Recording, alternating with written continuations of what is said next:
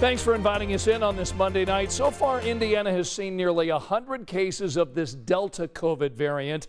More cases are probably on the way because these variants spread so quickly. The Indiana State Health Department found 60% of COVID cases they've sampled are some variant of the COVID virus. That's more than 4,700 people. So tonight we want to dig into how effective these vaccines are against these variants, why doctors are so concerned tonight about the Delta one in particular, and what parents need to know about the risk to your kids. The Delta variant is here in Indiana. 98 cases at last count from state health officials. We do know that it's impacting younger people more both across the country and here in Indiana. So let's delve deeper into what you need to know. We talked to Dr. Samina Bhumbra, who's part of the Ryan White Center for Pediatric Infectious Diseases and Global Health at Riley Hospital for Children. We asked, why are younger people catching the Delta variant the most? Usually, the reason that younger groups are getting, younger individuals are getting the, the variant is because they're less likely to be vaccinated.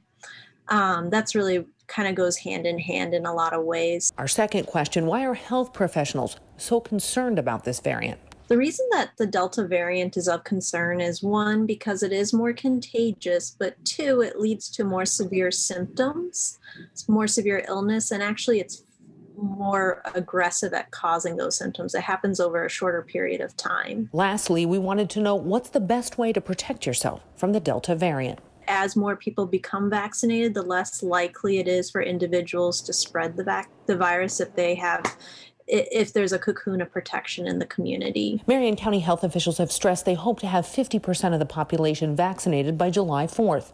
Right now, Indiana's most populated county is at 39%. Dr. Bhumbra hopes more people will get in line.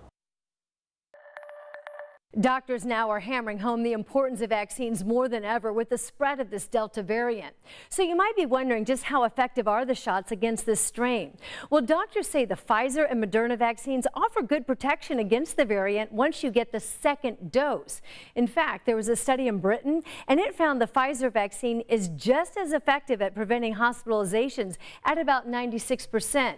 Studies right now are underway to find out how the J&J vaccine stacks up. There's just not much data with that version to work with. Now keep in mind, Dr. Fauci says these spreading variants should not be a concern to people who already are vaccinated, but should be an incentive for people who don't have the shot to sign up and get one. Currently, less than half of the people living here in Indiana have their vaccine. Look at that green area there. That shows about 40% of our state's population is fully vaccinated. So that means that gray area, 60%, has not been vaccinated. And when we check the age breakdown, older Hoosiers were more likely to be vaccinated than younger Hoosiers. And that's part of the concern with this Delta variant.